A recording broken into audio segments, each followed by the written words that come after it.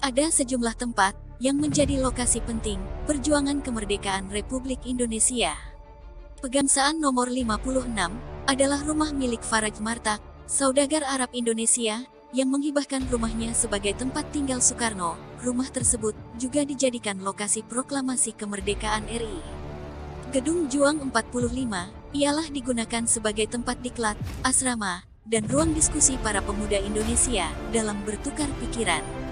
Rumah Rengas Dengklok menjadi tempat bersejarah peristiwa penculikan Bung Karno dan Bung Hatta oleh para pemuda revolusioner. Rumah Laksamana Maeda digunakan untuk tempat perumusan naskah proklamasi oleh tiga orang tokoh kemerdekaan, Soekarno, Hatta, dan Ahmad Subarjo.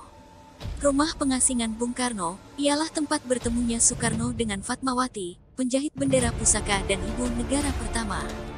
Kemerdekaan hanya didapat dan dimiliki oleh bangsa yang jiwanya berkobar-kobar dengan tekad merdeka atau mati. Tertanda, IR Soekarno